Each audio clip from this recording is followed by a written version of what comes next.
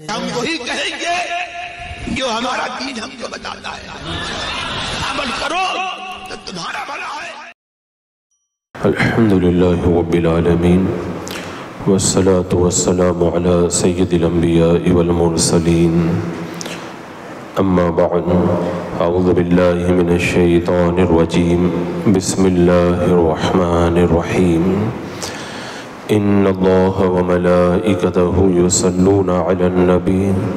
या अय्युहल्लज़ीना आमनू सल्लु अलैहि व सल्लिमू तस्लीमा अल्लाहुम्म सल्लि अला सय्यदिना व शफीना व हबीबिना व मौलाना मुहम्मद व बारिक व सल्लिम सलातन व सलामन अलैका या रसूल अल्लाह सल्लल्लाहु तआला अलैहि व सल्लम इंसान की ये फितरत है कि जिस चीज़ के बारे में वो जानकारी नहीं रखता, उसमें सही को गलत और गलत को सही समझ बैठता है और उसके समझे हुए के ख़िलाफ़ अगर कोई कुछ कहता है तो वो उसे बुरा मनाता है और मुखालफत पर आमादा होता है। ऐसा ही एक बड़ा अहम मसला आज के इन हालात के अंदर हमारे दरमियान मौजूद है। इस सिलसिले में मैं जो ज़रूरी बातें आपके गोश गुजार करना चाहता हूँ, हर सुन्नी सयूलक़ीदा मुसलमान को इन बातों को सुनना चाहिए, याद रखना चाहिए और अपनी नस्लों तक इन बातों को पहुँचाना चाहिए। अगर कोई इन बातों को खूब अच्छे तरीके से समझ ले और अपनी नस्लों को बता दे तो इन उसका ईमान महफूज रहेगा। ये एक बहुत बड़ी गलत फहमी है जिसका मैं आज की इस महफ़िल के अंदर इजाला करना चाहूँगा। लोग ये सवाल करते हैं कि सुन्नी और देवबंदी में क्या फ़र्क है? और ये सवाल करने की वजह ये है कि कुछ लोग ये समझते हैं कि ये ओलमा का आपस का झगड़ा है। कुछ लोग कहते हैं ये बरेली और देवबंद का झगड़ा है। और कुछ लोग कहते हैं कि ये न्याज, फातिया, उर्स और कवाली का झगड़ा है। तो मैं इस हवाले से बहुत साफ़ सुथरी चंद बातें आपके हवाले कर दूँ। सुन्नी और देवबंदी का आपस का जो फ़र्क है, ये सिर्फ़ चंद चीज़ों के जायज़ और नाजायज़ होने तक महदूद नहीं है। ये बात मैं अपनी तरफ़ से नहीं कहता। देवबंदियों के बहुत बड़े मौलवी मंजूर संबली ने किताब लिखी है, उसका नाम है फ़ैसला कन मुनाजरा। उसमें लिखा है उसने शायद बहुत से लोग नावाकिफ़ी की वजह से ये समझे हुए हैं कि मीलाद व क़याम, उर्स व कबाली, फ़ातिहा व तीजा, दसवां व बीसवां, चालीसवां बरसी वगैरह रसूम का जायज़ और नाजायज़ और बिदत और गैर बिदत होने के बारे में मुसलमानों के मुख्तलिफ़ तबक़ों में जो नज़रियाती इख्तलाफ है, यही दरअसल देवबंदी और बरेली इख्तलाफ है, मगर ये समझना सही नहीं है। यानी देवबंदी मौलवी कह रहा है कि सुन्नियों, ये देवबंदी और बरेली का फ़र्क ये नहीं है कि न्याज फातिया हम लोग नहीं कराते, वो लोग कराते का नहीं। और सही बात है कि सिर्फ़ इतना ही इख्तलाफ नहीं है हमारे और उनके दरमियान। इख्तलाफ की बुनियाद क्या है? उसके लिए मैं थोड़ा सा माजी के अंदर जाना चाहूँगा, क्योंकि जब तक हिंदुस्तान की आप पुरानी हिस्ट्री को नहीं पढ़ेंगे तो सुन्नी और देवबंदी का फ़र्क आपको कभी भी नहीं समझ में आएगा। आपको उस हिस्ट्री को पढ़ना ही पड़ेगा लाजमी तौर पर। और आपको शायद मालूम होगा कि जब मुगलिया सल्तनत का सूरज हिंदुस्तान की सरजमीन पर गुरूब हो रहा था, तिजारत के रास्ते से अंग्रेज़ हिंदुस्तान में आए, ईस्ट इंडिया कंपनी के ज़रिए हिंदुस्तान में उन्होंने अपने कदम जमाए और धीरे धीरे हिंदुस्तान के इलाकों पर वो लोग काबिज हुए, मुगलिया सल्तनत कमज़ोर हुई। उस वक्त उन्होंने इस बात की ज़रूरत महसूस की कि अब अगर यहाँ पर मुकम्मल कब्ज़ा करना है तो ज़रूरत इस बात की है कि मुसलमानों को आपस के अंदर तोड़ दिया जाए और इनके अंदर इख्तलाफ पैदा कर दिया जाए। ये मैं बात कर रहा हूँ, कोई 1822 के आसपास की बात है ये। ये 18 1822 के आसपास में आप हिंदुस्तान की हिस्ट्री पढ़ के देख लें, उस वक्त हिंदुस्तान में दो मज़हब पाए जाते थे। या तो कोई सुन्नी होता था या फिर शिया होता था। न कोई देवबंदी था, न कोई वहाबी, न कोई नेचरी न चकड़ालवी, न कोई तबलीगी जमात वाला, न कोई कादियानी, न कोई मौदूदी, कोई और फ़िरका आपको हिंदुस्तान में नज़र नहीं आएगा। ये मैं 1822 के आसपास की बात कर रहा हूँ। अब जब 1822 के आसपास सिर्फ़ शिया और सुन्नी के नाम से दो ही जमातें हिंदुस्तान की सरजमीन पर पाई जा रही थी तो फिर ये इतने इख्तलाफात और झगड़े कहाँ से पैदा हुए? तो फिर आप गौर करें तो पता चलेगा कि मुसलमानों को आपस में लड़ाने के लिए उन्होंने एक प्लानिंग तैयार की। आपको शायद याद होगा, अगर आपका हाफजा कमज़ोर नहीं है तो मैंने किसी मौके पर बताया था। जब मैंने वहाबियों की तारीख बयान की थी तो मैंने बताया था। एक बहुत बड़ा जासूस है, जिसका नाम है हमफरे। ये जासूस हमफरे की कहानी मैंने आपको सुनाई थी कि अठारहवीं सदी में बरतानिया ने बहुत चालाक एक जासूस इस्लामी मुल्कों में भेजा था, जिसका नाम था हमफरे। वो इस्लामी मुल्कों में घूमा। खानकाओं के पास खानकाओं में गया, मदरसों में गया ओलमा मशाई के पास गया और पूरी उसने हिस्ट्री तैयार की और आखिर के अंदर उसने ये लिखा था कि मुसलमानों की ताकत का ख़जाना दो चीज़ें हैं। पहली बात पैगंबर इस्लाम और अहल बैत और और सालीन की ज़्यारत गाहों की तज़ीम, ये इनकी सबसे बड़ी ताकत है। दूसरी ताकत, रसूल अकरम सल्लल्लाहु अलैहि वसल्लम और उनकी आल का एहतराम और ये समझना कि वो ज़िंदा हैं और उन पर दरूद सलाम पढ़ना चाहिए। उसने अपनी डायरी में लिखा दो मुसलमानों की ताकतें हैं। फिर उसके बाद में उसने लिखा कि इनको बर्बाद करने के रास्ते क्या हैं? उसने कहा, पहला रास्ता ये है कि धीरे धीरे इन्हें कब्रों से मुतनफ़िर किया जाए, मज़ारात से दूर किया जाए और फिर मज़ारात को गिरा दिया जाए। और दूसरी बात उसने ये लिखी कि कराम की नफ़रतें लोगों के दिलों में पैदा की जाए। तीसरी बात उसने ये लिखी कि पैगंबर इस्लाम और बुज़ुर्गान दीन के बारे में ऐसा माहौल बनाया जाए कि उनकी तज़ीम पर कुफर व शिर के फतवे लगाए जाएँ और इस तरह मुसलमानों को उनसे दूर किया जाए। ये एक बहुत बड़ी प्लानिंग थी। अब हिंदुस्तान में ज़रूरत इस बात की थी कि बुज़ुर्गान दीन अलिया कराम और अम्बिया कराम से लोगों को दूर करने के लिए क्या किया जाए। तो सबसे पहले उन्होंने तलाश किया कि हिंदुस्तान में सबसे ज़्यादा बड़ा घराना कौन सा है? तो हिंदुस्तान की सरजमीन पर उस ज़माने में सबसे बाइज़्ज़त घराना शाह वलीउल्लाह मोदी से देलवी का था। उसी घराने के अंदर एक बंदा उनको मिल गया जिसका नाम था इस्माइल देलवी। ये शाह वलीउल्लाह मोदी से देलवी का भतीजा था। इसको इन लोगों ने तैयार किया। अब तो तैयार कोई करेगा तो खुलेआम तो नहीं करेगा। वो अंडरग्राउंड सारा काम किया गया और पता कब चला? जब उसके ज़रिए एक किताब लिखवाई गई और उस किताब के अंदर वही बातें लिखवाई गई जो हम फरे जासूस ने अपनी किताब में लिखी थी कि किस तरह मुसलमानों को अल्लाह वालों से दूर किया जाए।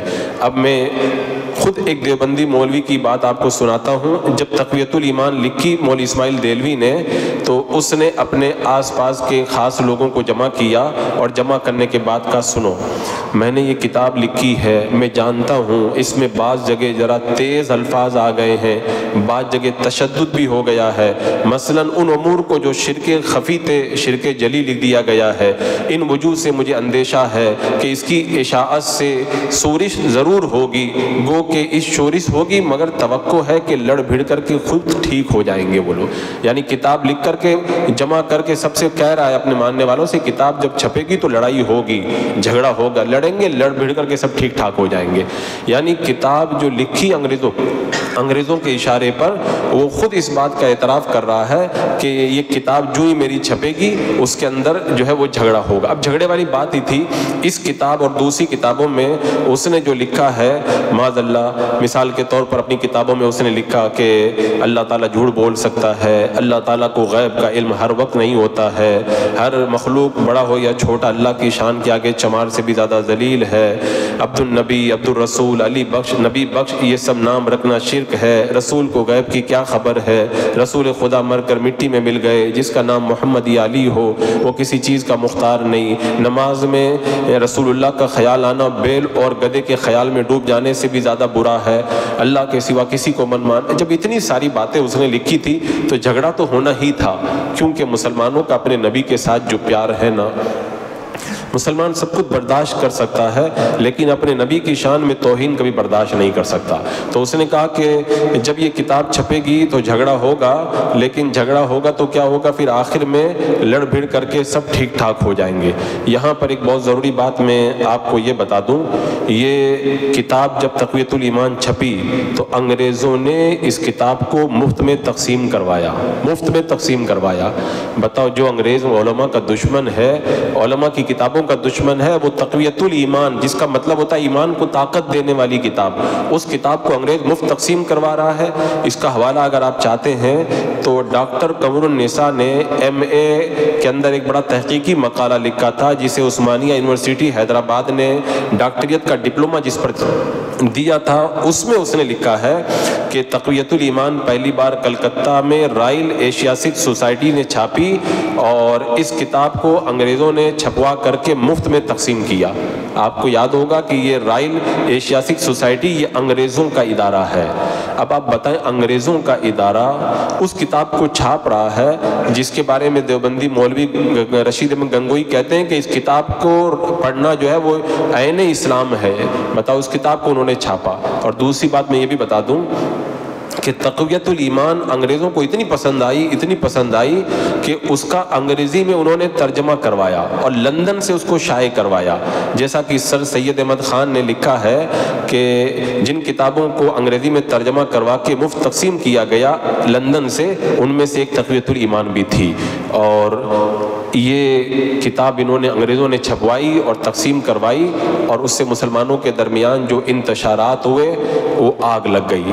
पूरे हिंदुस्तान के अंदर एक आग लग गई और फिर माहौल ऐसा पैदा हो गया कि जगह जगह इस्माइल देलवी ने जो सोचा था वैसा ही हुआ कि झगड़े शुरू हो गए, दिल्ली में आग लगी, ओलमा ने उसका रद्द करना शुरू किया।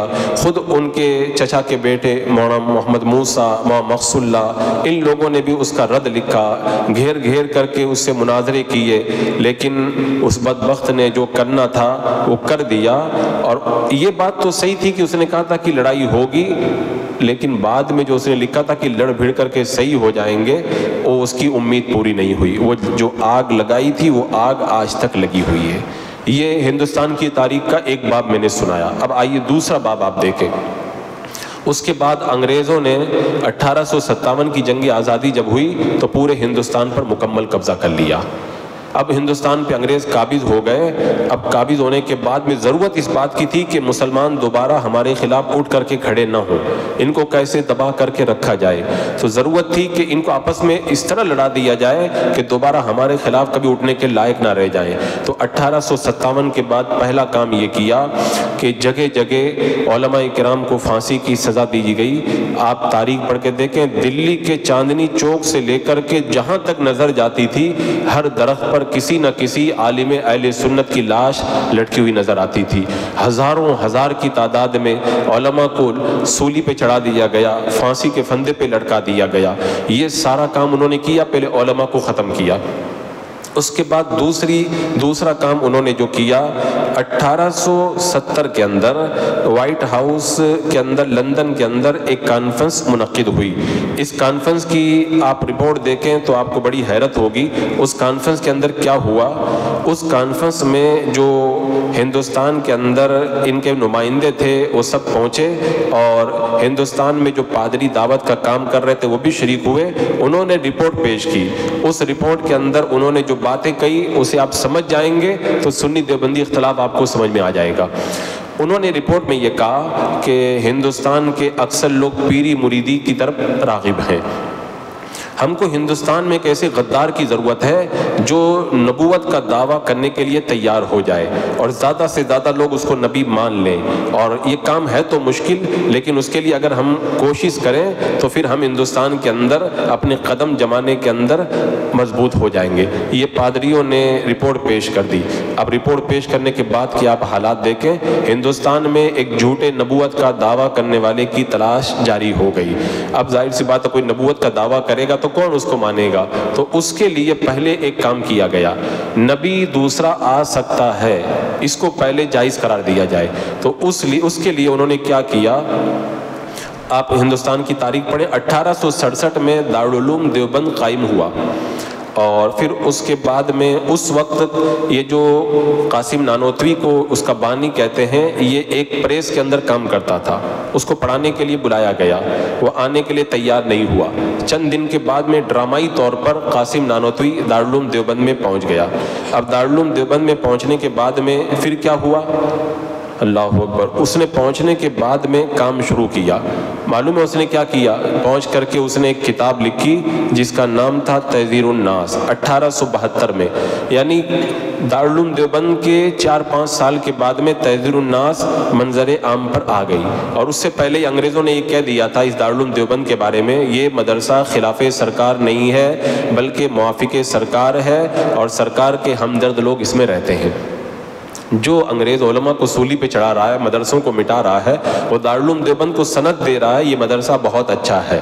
अब ये मदरसा जब जम गया, कासिम नानोती के पास में जब एक फ़ौज तैयार हो गई ओलमा की तो उसने वो किताब लिखी, जिसमें माजल्ला मेरे आका अलैहि वसल्लम के आखिरी नबी होने का इनकार कर दिया। ये वो पहला दिन था, उसी दिन से सुन्नी देवबंदी इख्तलाफ की शुरुआत हुई। ये पहला दिन था वो। उसने उस किताब में लिखा कि हजूर अक्रम अलैहि वसल्लम के आखिरी नबी होने का उसने इनकार कर दिया। तहजीरनास का छपना था, पूरे हिंदुस्तान में आग लग गई। खुद देवबंदी मौलवी अशफ अली थानवी ने लिखा है, जिस वक्त मौलाना नादौती साहब ने तहजीरनास लिखी, किसी ने हिंदुस्तान भर में मौलाना साहब की मुआफ़त नहीं की। पूरे हिंदुस्तान में आग लग गई। और अभी ये आग लगी हुई थी, और ये आग अभी बुझने भी नहीं पाई थी। अंग्रेज़ों ने इस आग को भड़काने के लिए और ज़्यादा उसके अंदर तेल डाला। यानी अभी वो बेचैनी ख़त्म भी नहीं हुई थी कि एक और किताब रशीद एवं गंगोई ने लिख डाली जिसका नाम था बराइन कातिया। ये बराइन कातिया उसने लिखी अठारह के अंदर। इस बराइन कातिया में मादल्ला उसने जो है मुसलमानों के मामूलात को शिरक, बिदत, हराम और गुना करार दिया। मेरे आका सल्लल्लाहु अलैहि वसल्लम के मुबारक मीलाद को कन्हैया के जन्म के सांग से तशबी दी। फातिया के वक्त खाने पर कुरान पाक की आयतें और सूरतें पढ़कर फातिया देने को वेद प्रिंट कह दिया।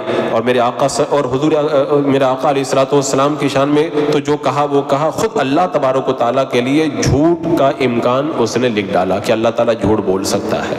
और यहाँ तक लिख दिया कि शैतान मलून के इल्म नापाक को हजूर अक्रम अलैहि के इल्म से भी ज़्यादा उसने बता दिया।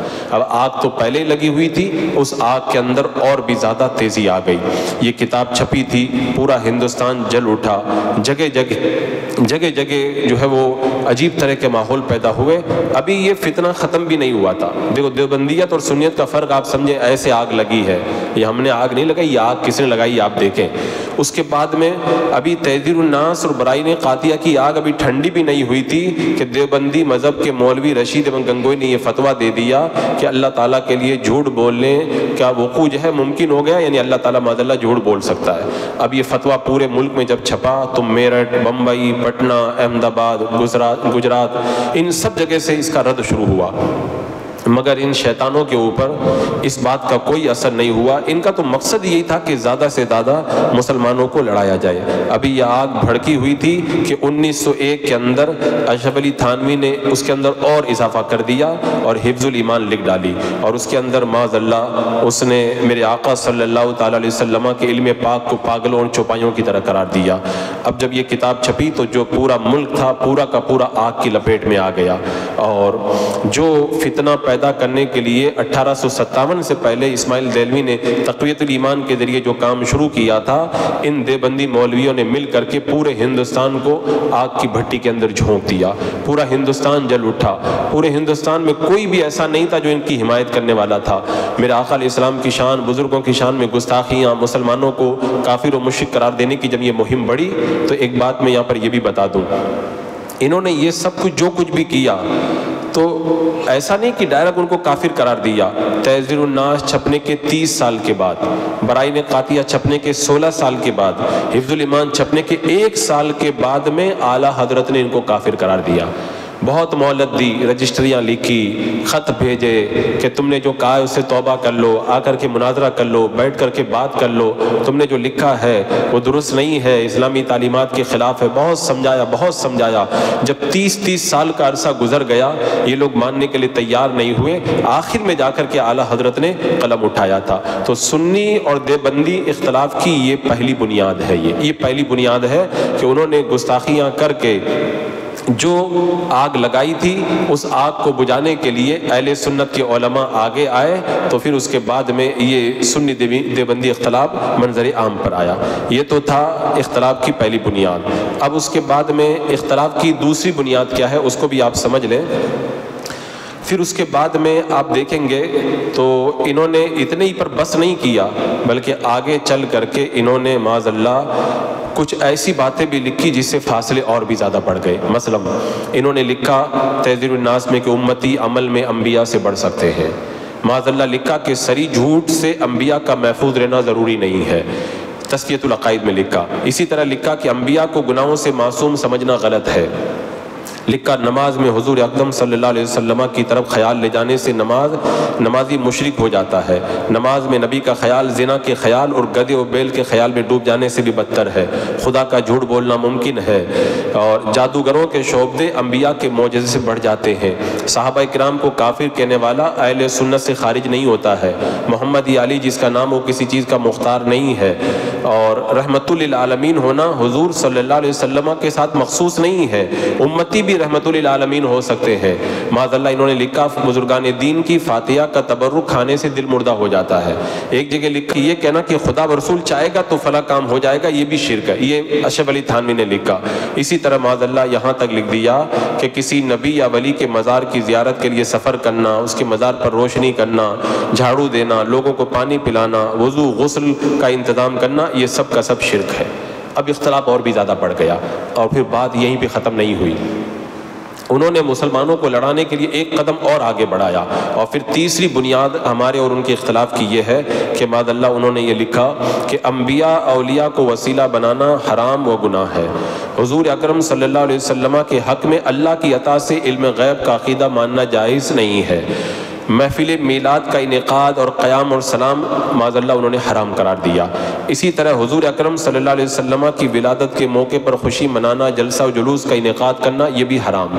मज़ारात अलिया पर गुम्बत की तमीर यह भी हराम। नारा या रसूल अल्लाह और या नबी सलाम का यह भी हराम। अकी, अकीका फितना और बिस्मिल्लाह की तकरीब में अपने दोस्तों को रिश्तेदारों को जमा करना ये भी नाजायज़ तीजा दसवां चालीसवां शब बरात का हलवा ये भी नाजायज़ शादी बिया मंगनी चौथी में किसी को बुलाना और किसी के यहाँ जाना ये भी नाजायज़ शादी के मौके पे सेहरा बांधना ये भी मुशरकाना काम है। और एक जगह लिख दिया कि हजूर अक्रम सल्लल्लाहु का नाम पाक सुनकर अंगूठा चूमना हराम। रजब के महीने में इमाम जाफ़र सादी की फातिया करना भी हराम। रमज़ान मुबारक में ख़त्म कुरान के मौके पर मस्जिद में रोशनी करना यह भी हराम। मुसलमानों के मैतों की कब्रों पर तारीख वफ़ात का जो पत्थर लगाते हैं, ये भी हराम। नमाज़ जनाजा के बाद दुआ मांगना भी नाजायज़। ईद के दिन मुआनका करना, मुसाफा करना, ये भी हराम। यानी इन्होंने इख्तलाफ ख़त्म नहीं होने दिया। सब कुछ एक तरफ़ से पूरे हिंदुस्तान बल्कि पूरी दुनिया के मुसलमानों को काफिर मुशिक बनाने की मुहिम छेड़ दी। अब अगर कोई कहता है कि ये बरेली और देवबंद का झगड़ा है, ये मौलवियों के आपस में झगड़े हैं, अब थोड़ी देर तो सोचने की ज़रूरत है। खैर, अभी मैं उस तरफ़ आता हूँ। ये सारे हालात जब पैदा हुए, पूरा हिंदुस्तान जब जल उठा तो उस वक्त आला हज़रत इमाम अल सुन्नत रदी अल्लाह तु ने सन हिजरी सन ईस्वी 1902 में किताब लिखी, जिसका नाम था अलमतमदुलमस्तनद इस किताब के अंदर आला हज़रत रदी अल्लाह तु ने कासिम नानोतवी, रशीद अहमद गंगोई, खलील अहमद अम्बेटवी और अशफ अली थानवी को काफिर करार दिया इनकी कुफरिया इबारात की बुनियाद पर। और ये उसके बाद में कई साल तक इनमें से कई लोग ज़िंदा रहे, लेकिन किसी ने कुछ नहीं कहा। चुपचाप बैठे रहे, कुफर का फतवा इन तक पहुँचा, ये खामोश बैठे रहे। उसके बाद 1906 के अंदर आला हज़रत जब हज के लिए तशरीफ़ ले गए तो आपने जो इनकी गुस्ताखाना इबारतों पर कुफ्र का फतवा दिया था, उसको मक्का और मदीना के ओलमा के सामने पेश किया तो मक्का और मदीना के सारे ओलमा ने इस बात का इकरार किया कि जिन्होंने भी ये कुफरिया बातें लिखी हैं, वो सब इस्लाम से खारिज हैं, काफिर व मुर्तद हैं, और जो इनके कुफ्र में शक करे, वो भी जो है वो काफिर है। अब जब मक्का और मदीना का फतवा आ गया तो कई मुँह दिखाने के लोग लायक नहीं रह गए। हुसामुल हरमैन के नाम से आला हज़रत रदी अल्लाह तु ने उस फतवे को शाये कर दिया।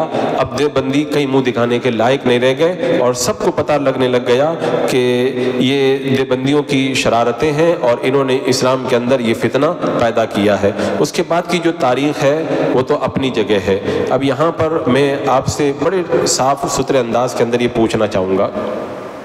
आप बरेली शरीफ को एक तरफ़ रखें। देवबंद को एक तरफ़ रखें। खुद अपने दिल पर हाथ रख के बताएँ, ये जो गुस्ताखाना इबारतें जो कही गई हैं, अल्लाह उसके रसूल की शान में जो गुस्ताखियाँ की गई हैं, जिस मुसलमान के दिल में अल्लाह उसके रसूल और महबूबा ने बारगाह की अजमतें हैं, क्या कभी वो गवारा करेगा?